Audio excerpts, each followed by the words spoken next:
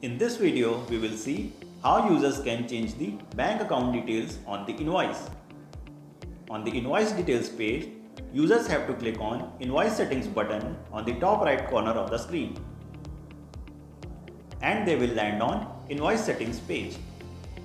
Now click on bank account on invoice.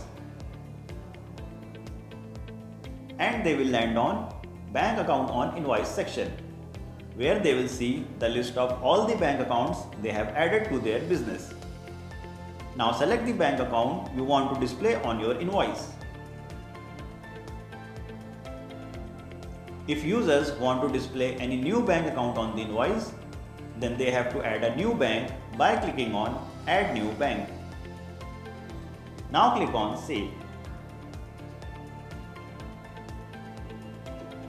Now click back to the invoice details page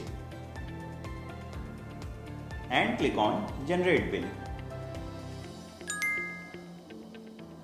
Your invoice is created and will be displayed on the screen. Now zoom in on the invoice display